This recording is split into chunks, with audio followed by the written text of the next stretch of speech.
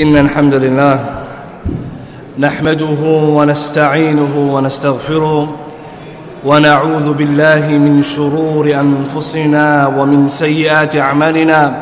من يهده الله فلا مضل له ومن يضلل فلا هادي له. وأشهد أن لا إله إلا الله وحده لا شريك له.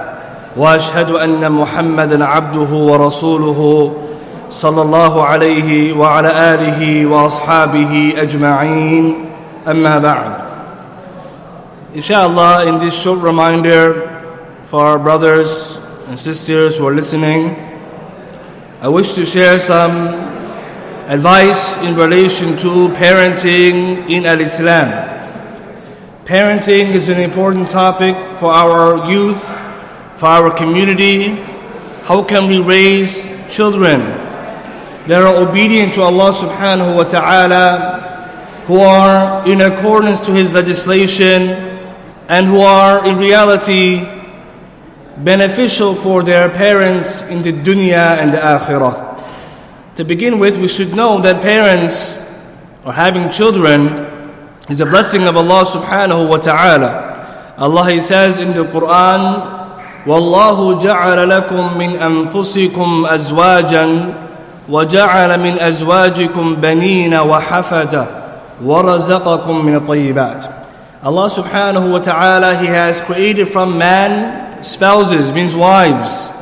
And from these wives, He has allowed them to have children and grandchildren. And He has given us our provisions. It's the bounty of Allah subhanahu wa ta'ala to have children. And to further that, Allah He says in the Quran, Jalla Jalaluhu, لله ملك السماوات والأرض يهب لمن يشاء إناثا ويهب لمن يشاء الذكور أو يزوجهم ذكرانا وإناثا ويجعل من يشاء عقيما إنه عليم قدير That Allah subhanahu wa ta'ala, He belongs to Him everything in the heavens and earth. And He gives to whomsoever He wills sons and to others daughters. And some He gives them both. Means He gives them twins. They have male and female. And some Allah has made, subhanahu wa ta'ala, Allah has made for some to be aqiman, They have no children. They can't give birth. And this is all from Allah subhanahu wa ta'ala's ability and wisdom. So children in reality, having children is a bounty of Allah subhanahu wa ta'ala that He will ask us about Yawm al-Qiyamah. Every parent should know that.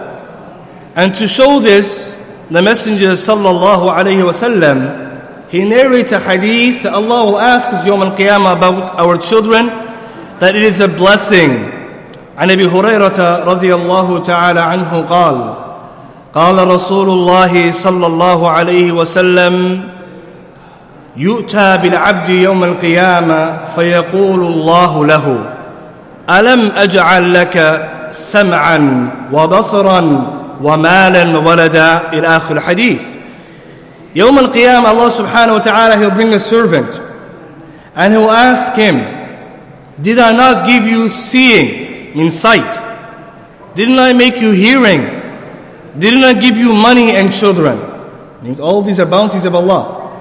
And Allah will ask us about them Yawm al Qiyamah. ثُمَّ لَتُسْأَلُنَّ يَوْمَئِذٍ عَنِ النَّعِيمِ that day Allah says He will ask all the servants about the blessings which they enjoyed. And so this hadith reported by Tirmidhi, hadith in Sahih, all of this is showing us that the children are a bounty. But at the same time, having children and parents having children, it's a responsibility. It's a responsibility. And all of us, we have that responsibility. Whoever has children and whoever is in the community where there are young youth, to take care of them and look after them, advise them and guide them.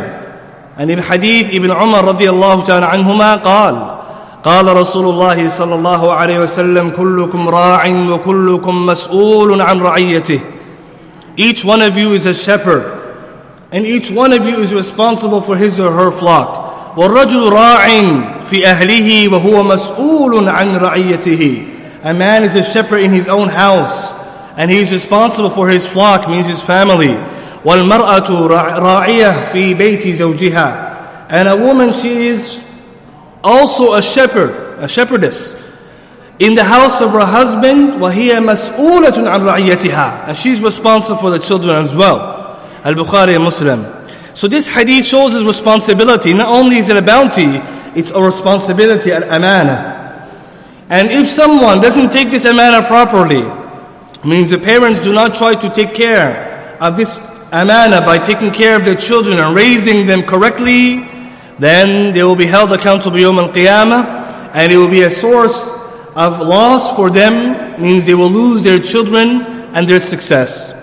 And this is something which, sad to say, we see in our society today. When parents, some of them may not be as serious as others in the responsibility, it will lead to the, the harm of the community.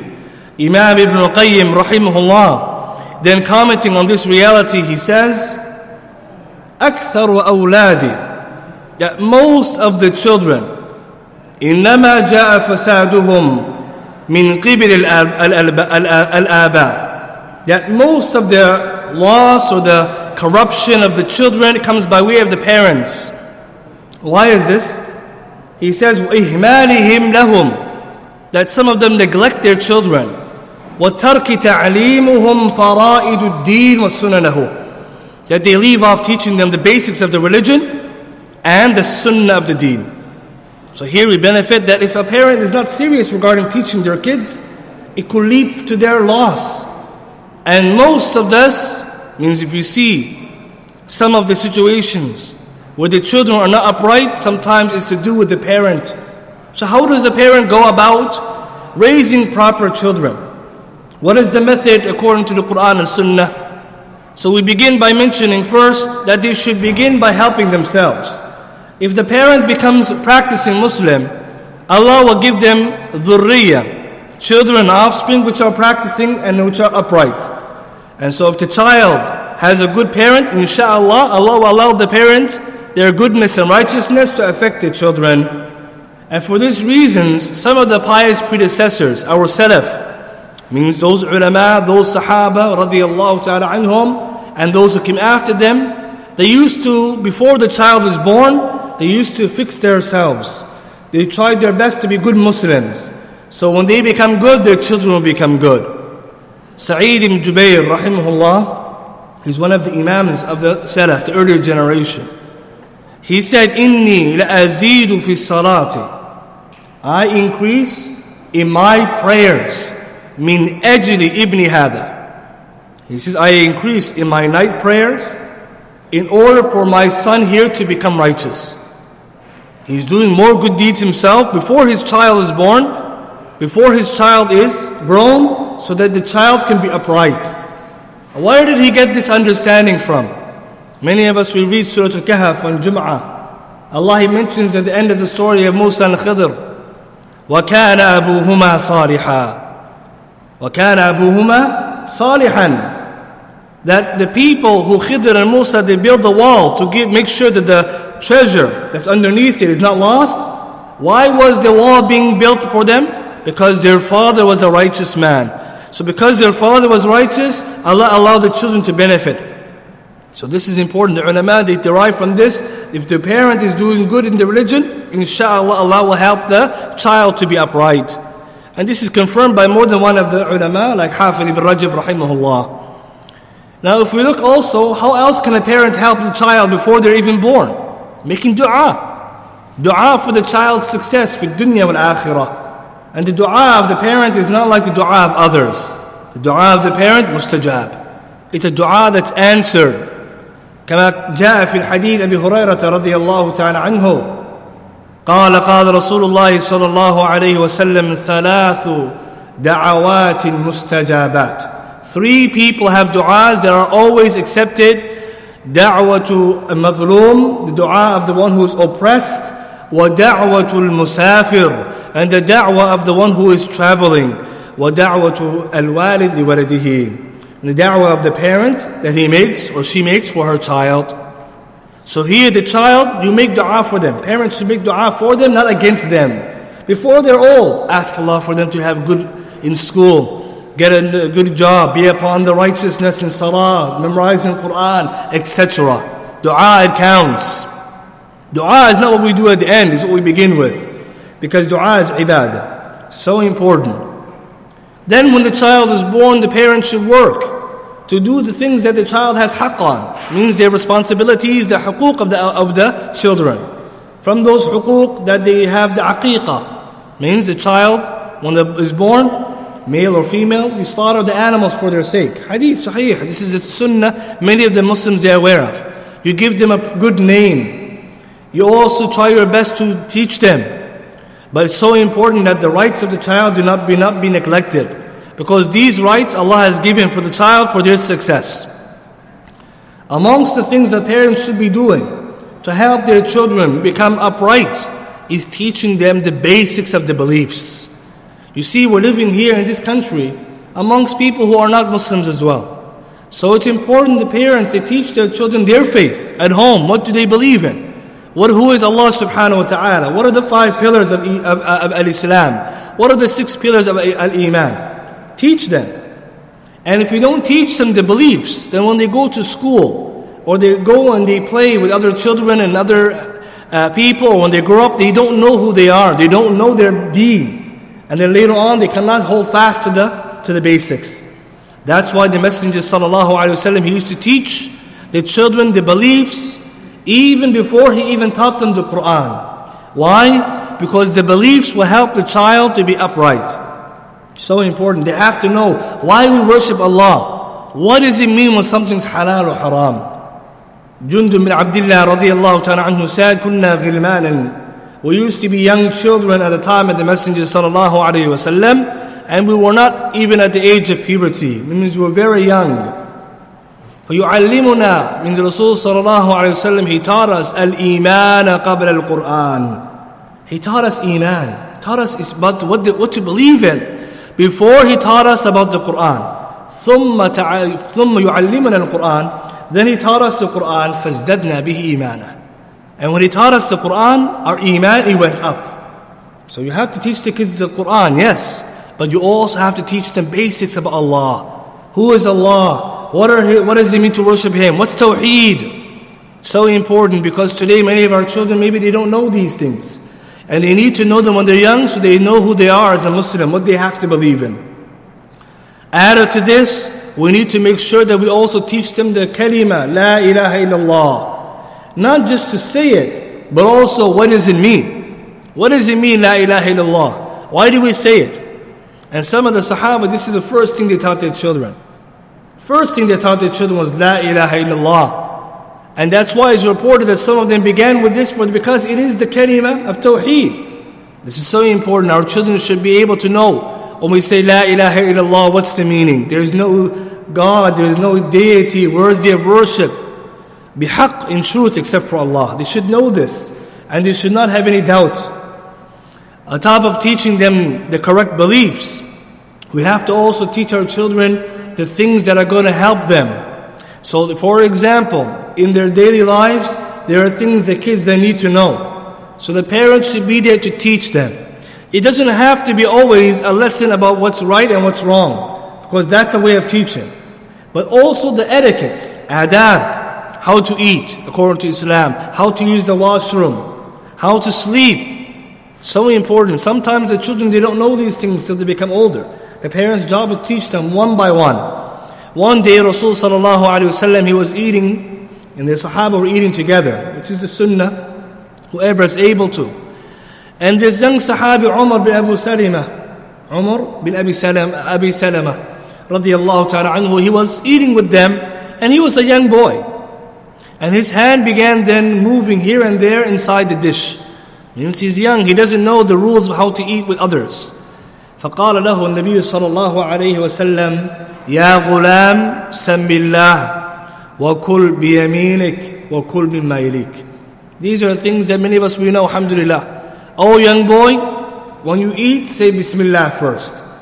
Then eat with your right hand. And next, make sure that you that you eat from the place that's closest to you. The Rasul taught him he was young. He was young. He didn't say, oh, he's too young. He doesn't need to know that. No, this is because when you teach them when they're young, you train them when they're young, when they get older, it's easy for them to, to practice. The same thing, you teach them things about having good thoughts about Allah, putting your trust in Allah, Ibn Abbas radiallahu many of us are familiar with his name. When he was only a young boy, he's a ghulam, a young boy. Because when the Messenger sallallahu died, he was about 13 years old. He told him, Rasul sallallahu alayhi wasallam told him one day, Ya ghulam, again, O young boy, ihfadillaha yahfadak. If you if you're mindful of Allah, if you preserve Allah, Allah will preserve be mindful of you. How old is Ibn Abbas radiallahu ta'ala anhumah? He's only 13 when he died, sallallahu alayhi wasallam. He was younger when this message came to him. So the Rasul didn't lose the opportunity to teach the kids even at a young age. So it's a recommendation for the parents, any opportunity they get to teach them. But teach them in a good way. Means you teach them the way that they can understand. It doesn't have to be yelling at them. Yes, sometimes there's time to yell, time to be upset, time to be uh, teaching them other ways. And sometimes you have to be in a nice way because they don't know any better. علموا ويسروا هكذا يقال النبي صلى الله عليه وسلم teach and make it easy and on top of this one thing we should be careful with our children even if they're old is that you ask if they pray the salah many times when the kids they get older the teenagers salah now becomes an issue because now they have responsibilities but they don't always pray Maybe they pray some salah, some salah they get busy or they forget or they become lazy. The parents should always be checking on their kids. Oh, did you pray Salatul Isha? You prayed Fajr? Even if they're not home, you can message them on the phone. Because Alhamdulillah, Allah has given us now technology. You can message them. Did you pray Salah? Make sure you pray Salah. Because if you don't remind them, they won't know it's important. And just again, look at this narration. Ibn Abbas again, radiallahu ta'ala anhumah the one who I just mentioned earlier. One day he said, رضي الله تعالى عنه, فجاء النبي صلى الله عليه وسلم بعدما أمسى. One day the Messenger صلى الله عليه وسلم came after the evening. Means it's not the morning, it's night time. Maghrib time, Isha time. And the Messenger صلى الله عليه وسلم said, as soon as he entered, أصلى الغلام. Did the young boy pray? Means did Ibn Abbas pray? He's asking his wife Maymuna because he's related to her. فَقَالُوا نَعَمْ They also, yes, he did. So then the Messenger ﷺ then went and he went to his bed. This hadith is reported by Abu Dawood, it's authentic hadith. What do we learn from here? Ibn Abbas, when Rasulullah died, he was only 13. Again, he's younger than 13. He asked him, did he pray? Night prayer. Means either Maghrib or Isha. Nowadays, our kids, we have to ask them when they come back from their play or from school, did you pray the salah? If they didn't, go pray. Because when the children reach 10, we know we have to be strict with them. We have to command our kids to train to pray at 7 years old. وَاضْرِبُوهُمْ عَلَيْهَا لِعَشَرٍ Means discipline them. Be strict with them when they don't pray consistently at 10. What we take from this today, sometimes we forget to ask them. And that's the responsibility of the parents. And if you ask them, the kids will know it's important. Just like when you ask them, Did you do your homework? He knows. He knows in the back of their head, homework is important. Because my mom and dad, they ask me. If you ask them, Did you pray every day? You will see them always be ready to pray. As Allah commands us, وَأْمُرْ أَهْلَكَ بِالصَّلَاةِ وَاسْطَبِرْ عَلَيْهَا Command your children, command your family to pray and be diligent and patient in it.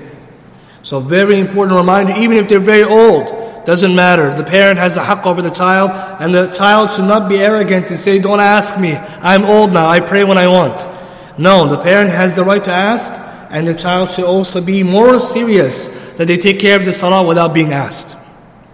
Added to this, the parents should also try their best to teach their children the things that are important, like taking care of their responsibilities, like schoolwork, doing good at school Alhamdulillah, many of our children are very good at the school, and some of them maybe not the best. We need to teach our kids to be taking responsibility in their homework and their efforts. And now that the school year is coming near, this is a responsibility on the parent to build the environment at home they can study and learn. They should teach them that when you come to time to be doing your work, you have to be responsible. Even the child should be taught to be responsible. And if the child, they need something, Children, they need something for school or clothes, whatever it may be. from That which is halal, the parents should try their best to afford for them if they're able to and give it to them. This is important because whatever the, the parent pays for the children, whatever cost they spend, it's sadaqah. It's the best they can give. The best thing they can do is spend money on their children. Of course, that which is beneficial for them. And this is what the Messenger sallallahu encouraged us. In Hadith Thawban. When he said sallallahu alayhi wasallam, أفضل دينار ينفقه الرجل دينار ينفقه على عياله. رواه Muslim. The best dollar that any parent person can spend is the one that they spend on their own children. So it's important encouragement. Sometimes the kids say, I need this, I need this. And the costs are more nowadays, yes. But you give if you can, you get hasanat. But sometimes you have to think twice about what you give them. For example, the cell phone. And this might be the biggest of the issues. When you give the children a cell phone, what happens to them? The ibadah. What happens to them regarding their manners? Every parent should think twice when should my child have a cell phone? It's not haram to have a cell phone, but it's not befitting to give it to them if they know they're not going to be able to take responsibility. They will be wasting it away by playing games, falling behind in school, becoming addicted. And that's why it's encouraged that the parents should only give it to them when they need it, when they reach an age where they're responsible. As for when they're very young, that even now the studies have come to show that this is dangerous for their, their own development. So it's a very important reminder because nowadays cell phones easy to buy compared to the past. And the responsibility should be that you spend on what they need, that which is going to help them. Another thing we remind also the parents to try their best to teach their children the good etiquettes, the good qualities. And if something happens at home, means the children are coming home late, they're doing something which is not usual from their habits, then the parents should be checking on them for example, when the kids they go to school, they come back. Sometimes they come back late. A parent should ask, "Where did you go? What did you, who are you visiting? Who are your friends?" These are important questions. No child should be angry if the parent asks, because they have a right to ask that. And to show you this, we'll look at the example of one of the mothers, Umm Salama radiallahu ta'ala, Umm, umm Sulaim radiallahu ta'ala anha, and her son Anas ibn Malik. Many of us, we know Anas ibn Malik radiallahu ta'ala anhu. He served Rasulullah sallallahu alayhi wa 10 years. So one day he said, وَأَبْطَأْتُ عَلَى أُمِّي One day I came home late. فقالت, she said, my mother Umm Sulaim, ما حبسك? What held you? What delayed you? Means why are you late? And this is an important question when the parent sees the kids coming late. You asked him, where were you? Who are you hanging around with? He said, بعثني النبي صلى الله عليه وسلم إلى حاجة. The Messenger صلى الله عليه وسلم, he sent me to do something. فقالت ما هي? She said, what is it? فقال إنه سر للنبي صلى الله عليه وسلم. He said it's a secret of the Rasul صلى الله عليه وسلم. Means I can't tell you, it's a secret. So what did she say? فقالت احفظ على رسول الله صلى الله عليه وسلم سره. الله أكبر. She said, preserve, keep the secret of the Messenger ﷺ. Don't tell me. And that's the quality of the mother, to teach the kids to keep secrets. He said, if I were to tell anyone, I would tell her, but I wouldn't. Because Rasul ﷺ, it's his secret. And this hadith, Sahih, Adab Mufrad Bukhari. And what we take from it, the parents should be diligent. Sometimes the kids, they come home late. You shouldn't say it's okay because you know the kid, you know your child best what time they come, and you ask who are they hanging around with. It's not to make the child feel that they're doing bad, but the parent has the right. الرجل على دين خليله فلينظر أحدكم من يخالل. Everybody is according to the religion or follows the religion of their close friend. Everyone should be careful who they take as friends. Parents should know who's my, my son's best friend, who's my daughter's best friend. And if the kids are learning bad things, they know from who it's coming because sometimes it happens. And the advice advise to each of them. I also want to just mention a few points that nowadays we live in a society where the trouble is a lot. Fitan is a lot. It means it's easy for children to get in trouble. So parents need to find ways for their kids to have halal entertainment and halal ways to have fun, places where they can keep protected, like the masajid and the community centers to play sports, etc. They shouldn't leave their children just to find their own ways. For example, to tell them to go out and play outside, and maybe they will meet people who they shouldn't. So one thing the children should do, parents should do, try to bring their kids to the masajid. In the programs the masjid they have, the Quran classes, the weekend programs, whatever it may be, Friday lectures, these things they help them to stay out of trouble and to gain hasanat. And also it will help the child to be protected so that then when they have free time, they don't go to the street, they don't go to the places where it's not befitting, they come to the masajid. The best place in the sight of Allah is the masajid. أفضل بقاع الله مساجدها. The best place in the sight of Allah is masajid. We want our kids here. We don't want like some masajid, only the old people are there. Nobody young is there. And this is not a good way. And also to keep the kids away from the trouble, you need to have a, a solution. For example, if you say you cannot go here, you cannot go there, you cannot go there, then the child obviously will ask, well, what can I do? And you say, I don't have answer, just you cannot do any of this. It doesn't work very well. But rather, if you say, I have, we're going to go do this today, we have this program today, we have this place to go, it gives the kids busy and away from the wrong. And this is important because if our children, they don't hang around the places which is khair, then they'll be in the places which are no good.